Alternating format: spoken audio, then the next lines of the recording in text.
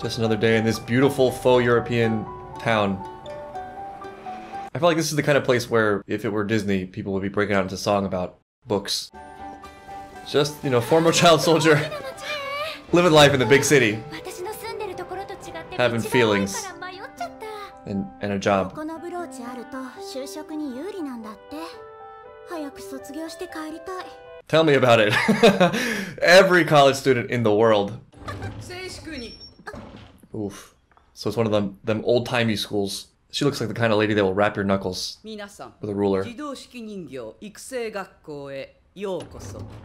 And no fun will be had here.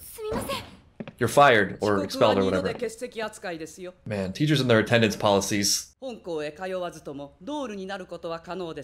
本校へ通わずともドールになることは可能ですが Goodbye. that's it. You should have said that before I enrolled. Then why am I here? Oh, that's right. I forgot. It's so that you can teach me how to be a responsible adult and impose your your your societal values on me. Starting with attendance policies because that's the secret to education. The school cynicism continues and intensifies. 私が良きドールと認めない限りこの証は決して与えられません But you'll still have to pay it all back. and you can't default. お人形のような服装とはかけ離れたまるで軍人さんのようでした知らない言葉を There's an opening for this show? Wait, what? I had to like give it up on that completely. Violet Evergarden. See, I learned how to read this strange and bizarre writing language. It would be a bold choice to just have an opening where she's standing in this field the whole time, just her face. This is giving me some fruit basket vibes in a big way. This style of song, the raw emotion, it's much less cut than most openings. Oh no, crying on the letter. Well chosen image. very, very on point. It was simple but really beautiful.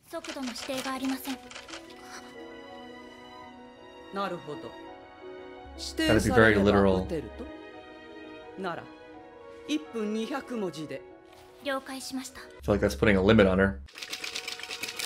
It's gonna be exactly 200 a minute, isn't it? But she's not a robot. she's a human being.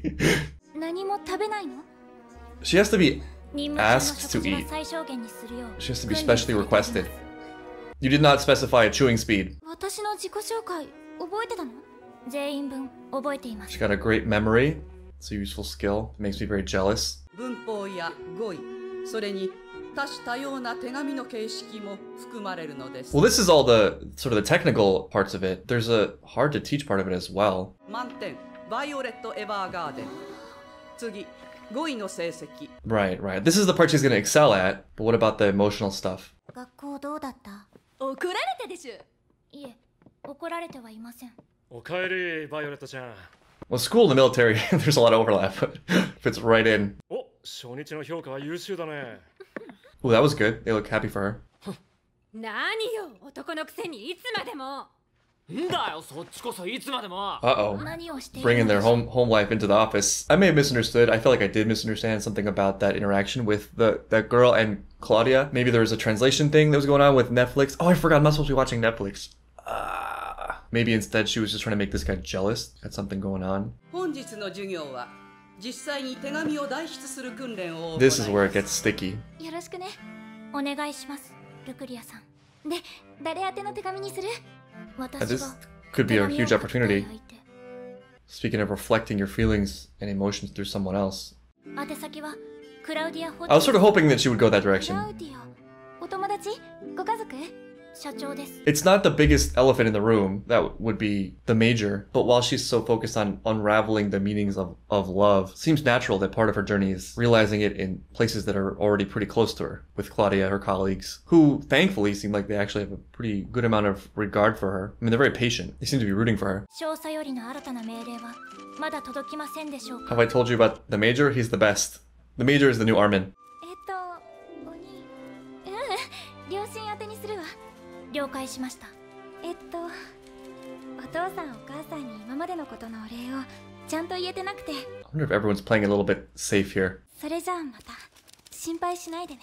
ルクリアより This is sort of fun because you can try to read between the lines as they're saying it too. You know, honestly, I feel like being an auto memory doll seems fun. I think I would really enjoy this. It's so enticing listening to people talk about what matters to them because there's a lot of significance not in just what is said, but what is unsaid. The things that are the most meaningful are probably also the most terrifying. Seems like part of the job is reading between the lines and realizing what they really want to say, but are afraid to say out loud or are afraid to look at even themselves. From this girl, it seems like she's really worried about her brother, but is more comfortable addressing him vicariously through her parents. She obviously loves them and misses them a great deal. And is maybe worried for herself, you know, her own success, her own future, not really knowing if this is the path for her, wondering if she's going to be able to give back in a significant way. This has me thinking about all the, the many things that are left unsaid. I feel like I have to call my parents all of a sudden. 背景父上様母上様久々の手紙です oh no. 以前か Oh ら no. の件に感謝を伝えていないことを懸念しております Alright, you know. 伝えるべき情報はなし Oh no. 当方は現在 Oh no. 鋭意努力中くれぐれも憂慮なきようドゥクリア That's just getting there. もしかしたら私の話が抽象的すぎたのか Well, も that's the job. The job is to abstract from the abstract. あなたは学科の成績も良くてタイプもとても速くて正確ですけれどあなたの代筆したものは Yeah. 手紙 And this と is は sort of 呼 hard べ to ません teach too. It's such a great device, this whole thing, this whole job, making it about learning how to be empathetic. Literally, the job is understanding the human heart. 以前も同じようなことを言われたことがありますそう I mean, if she was already great at it, she wouldn't need need school, would she? It's fine. ここよ急だから気をつけて Violet keeps meeting these really great, kind people. She's not gonna push her off the the watchtower, is she? I don't know why I just got that weird suspicion. この眺めが大好きなの She seems really lonely. バイオレット I mean, both of them, I guess.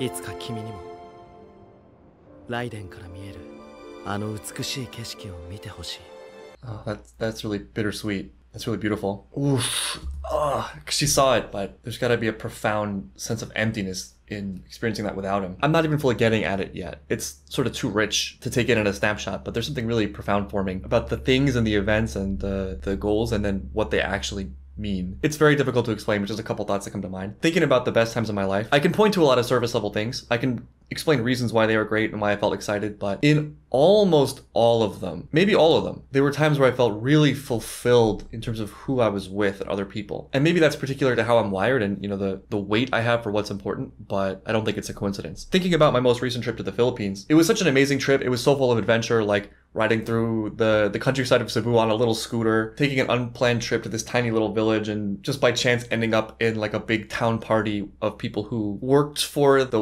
whale shark swimming facility that I planned to go the following morning and getting hooked up and stuff. And that was all great. You know, it was very exciting and adventurous, and I felt free and alive. But if I really think about the heart of that that trip, it's the fact that for a lot of it, my girlfriend was riding on the scooter behind me and kind of the feeling of these tiny snapshots and moments even when there was something special going on just the feeling that we were on the trip together in an alternate universe. I could have done all those things without her and it would have been very fun and exciting but it wouldn't have that same heart. And here violet made it to see this beautiful thing but i don't know it's tough hurts. でね。Here's uh, the brother that she was concerned about.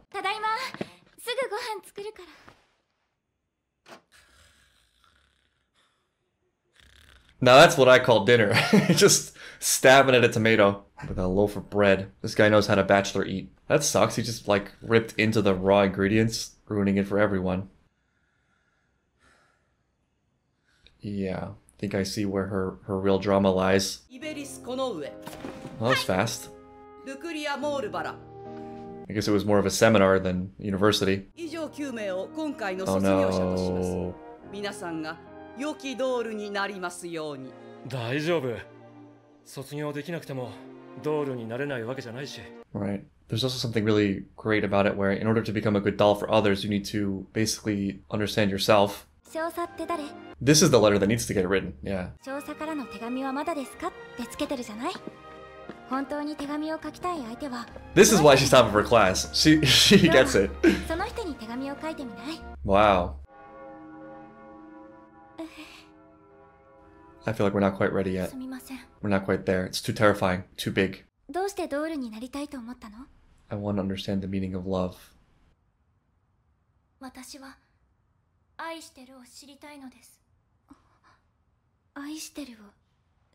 Like I said, I mean, she already knows what it means. It's just she's holding back a floodgate, it feels. There's something right in front of her that's going to be so powerful in both its beauty and its pain that she can't bring herself to take that step. If she didn't know what it was, you know, if she didn't have it there in some level, she wouldn't be like this. She wouldn't be going through all this. It's just kind of like locked in a certain chamber of her heart or mind. 実はね私の両親 I thought 死ん so. じゃったの She's responsible for the brother. お兄ちゃんに何を言えばいいかわからないの戦争が始まって You can start with stop eating my groceries before I cook. 戦いはいつもどこか離れた場所で起きていて私たちはずっと人事のように戦争を感じていたのでも Crying tears of alcohol. 遺品すら見つからなかったお兄ちゃんは無事に帰ってきた私はお兄ちゃんだけでも生きてくれたことを喜びたかった Speaking of not being able to deal with emotions. 父さんとお母さんが死んだのは自分のせいだと思い込んでる生きててくれるだけで嬉しいのありがとうって伝えたいだけなのに Mm. Well, that's going to get through to Violet at some level, right? Definitely understand why she was afraid to write that letter. I sympathize with Akulia because she's dealing with the same loss that her brother dealt with. And she probably just never played that role. You know, she never played the role of caretaker for her brother. It can get really tricky. There's like this this trap where the dynamic that people need or what people need to hear is in conflict with some other thing that they're relying on. What he needs is a combination of honesty probably, with understanding and compassion about his feelings. You know, his feelings of helplessness, his feelings of guilt, which are all perfectly understandable things, if somewhat inaccurate. I mean, it's not his fault that the war happened. He's not responsible for his parents' death, clearly, though I understand very intuitively why he would feel that way. But just, you know, guessing based on typical dynamics, that might initially feel like an admission of weakness. And it's really difficult to approach people who have that sort of, that guarded layer where they want to project the image that they're always capable. He probably feels like it's his responsibility to take care of his sister. So there would be an extra layer of guilt to pass through just to have the conversation about the actual guilt. And I can imagine someone like Luculia not wanting to be the one. That's a pretty deep hole when you're in bad shape and you're doing things that are not great. But you can't even get there because it hurts more to realize how deeply that's failing other people in ways you care more about than even that. But you stay there long enough, that's just digging the hole deeper and deeper. I think the only way is just to kind of clear house and just take the hit once. It can turn around more quickly than people give it credit for. You know, it just takes the decision and then a little bit of time. Just the momentum, just the upward tra- trajectory is satisfying. And the farther you get along that, the more you can put the other stuff behind you and actually feel feel solid, feel decent. But it's a long climb. And it's not Lukulia's responsibility. Her responsibility is probably just honesty and compassion. But then also her feelings of guilt and failure are wrapped up in this too. 手紙を書きましょうあなたの伝えたい気持ちを手紙にしましょう Yeah, here we go. Did that get through? お兄ちゃんに伝えようって考えるとダメなの今まで It's just too big. There's just too much going on at once. It's like her stuff, it's his stuff, it's the pain of loss, it's the confusion of roles. I think Violet has enough to work with. I mean, I think she should just write it. 伝えたい本当の心を救い上げるもの I mean, she really loves her brother. She really cares about him, but just doesn't know how to help. Either way she goes, it's dangerous.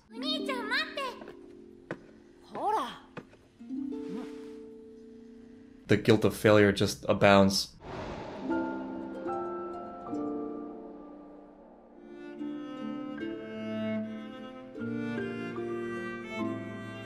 There's a resounding theme of sort of helplessness. Maybe we don't even need to write a letter. Oh, but we did that too. it's just four words. Get your crap together. well, that is pretty short. 生きて嬉しいのありがとう I guess that said enough. He already knows too. Well done, Violet. Simple but amazing. 今日は手紙を書いてきました心が伝わったかどうかはわかりませんが Despite her brother openly weeping on the letter. did it work? Who knows? こっちだよ濡れたコップを置 いたのよあんなところに手紙を置くお前が悪いんだろだから何よその言い方 Speaking of needing to express her true feelings, having them buried. この手紙をルクリアに見せてもらいましたあなたが書いたルクリアからお兄さんへの手紙をあなたが届けてくれたのよ Ten points for Gryffindor. その一歩を踏み出したのですバイオレット Good on the teacher for recognizing it and rewarding あな it. たが良きドールになりますように Attendance policies be damned. 本当にありがとう時に手紙はたくさんの美しい言葉を並べるより大切な気持ちを伝えることができるのです I feel attacked. とっても素敵な女の子でした Speaking of mirrors and projecting, I feel like Luculia is the great one. Luculia just got herself back, reflected back at her. It's an ending. What a day this is. I think I, I predicted the the ending during the opening. It's the poignant walk through the weather, through the seasons. The typewriter and its keys and symbols is, is such a great motif. You know, codifying things that are hard to codify. Feel like there are going to be some very significant letters coming up as the show progresses and concludes. This show is so short, it's the beginning, but I already feel like it's coming to an end. And it seems like that's how it's going to be. It's going to be a bunch of them, a bunch of the characters one by one, being able to finally confront the things that they already know, they're already there, but just don't know how to process yet or too afraid to process. That they they need to process, with Violet Evergarden probably being the, the biggest one and maybe the final one. Well, that was a real tearjerker. Just got a big storm coming. I mean, it's already all there. It's already brewing raging. It's so weird. It's so interesting how we can know something while simultaneously hiding it from ourselves. It's such a complex ecosystem, the heart and mind. You know, I think I spent so much time and energy trying to manipulate my my version of things, my version of events and situations in order to ward off some sort of pain, you know, thinking that the truth is too painful to look at or to accept in its full fullness. And sometimes that's a result of certain assumptions, you know, certain underlying assumptions where well, if this were true, then this would also certainly be true. And that result, that outcome is too devastating to fully entertain. And there's just a whole bunch of problems with that. I mean, for one, a lot of times those conclusions are just overstated in their either significance to our lives or even in their reality. You know, we can't, or we're not very good at accurately extrapolating out into time. You know, for example, let's say with a romantic relationship, it can be hard to look at issues or it can be hard to accept that things are over because there's this thing that's been taken for granted at some point that this is the best it'll ever be, or this is the only the only person that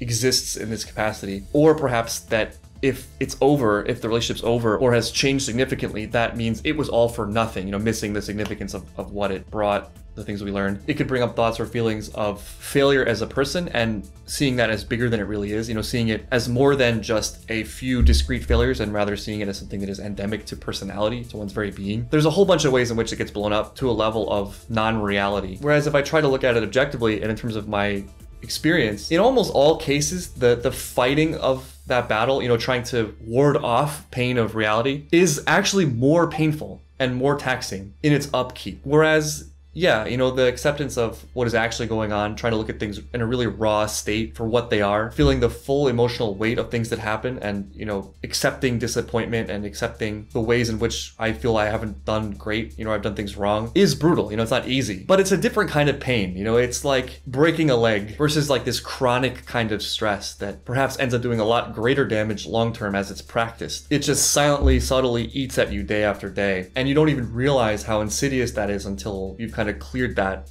you know let that emotional train of heartbreak hit you find your feet address the underlying thing that's going on that's probably linked to something that you, know, you have to look at or do and then continue on from there in a way that is kind of more aligned with honesty and integrity. I wonder if there's like a systematic approach to this kind of thing. If i had to guess i would say one approach maybe is just questioning certain assumptions. There's this weird programming that we develop where it's like if a then b if b then c. If this fails that means it's solely because of me. And if that's true, then it means I'm just a terrible person or whatever the case may be, you know, something along those lines where each step of those assumptions, there's something not full about it. There's something wrong about it. Things are just what they are. Taking Luculia and her brother, I think what makes their, their relationship compelling and the outcome satisfying is partly that they're both kind of doing the same thing in a sense. They're both perhaps taking responsibility for things that are not, not really their responsibility. And if they knew what the other was thinking, if they knew how much the other meant to them, it might have cleared a lot of that out a lot faster. Both of them in a way are carrying the same baggage that neither of them need carry, or they could at least carry together. And they're probably both making faulty assumptions about the other and about their own responsibility in each other's lives. And as soon as those walls come down and that gets connected, it's immediately satisfying and it feels rich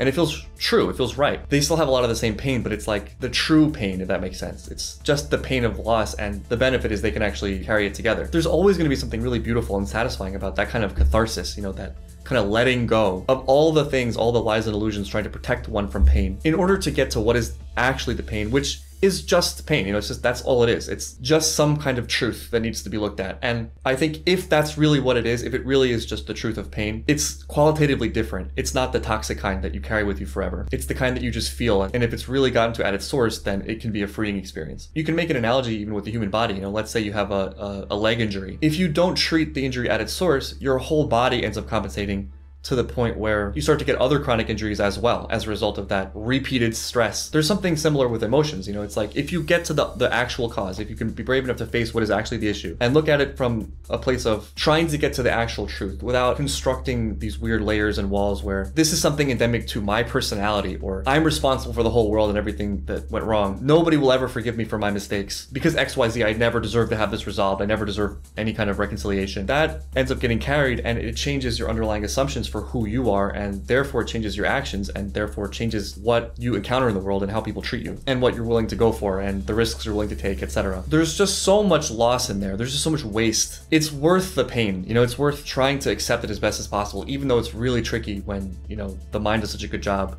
trying to evade it